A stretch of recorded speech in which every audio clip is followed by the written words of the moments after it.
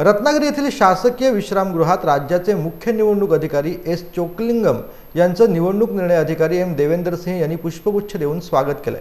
Police अधीक्षक धनंजय कुलकर्णी सर्वसाधारण निरीक्षक राहुल यादव मुख्य कार्यकारी अधिकारी कीर्तिकिरण पुजार आणि खर्च निरीक्षक अंकुर गोयल यांनीही पुष्पगुच्छ देऊन चोक्कलिंगम यांचं स्वागत केलंय.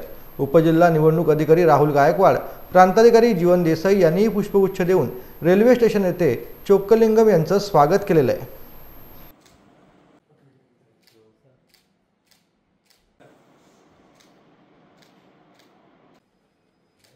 He should be.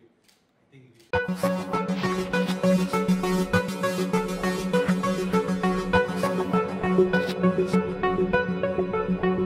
he. should.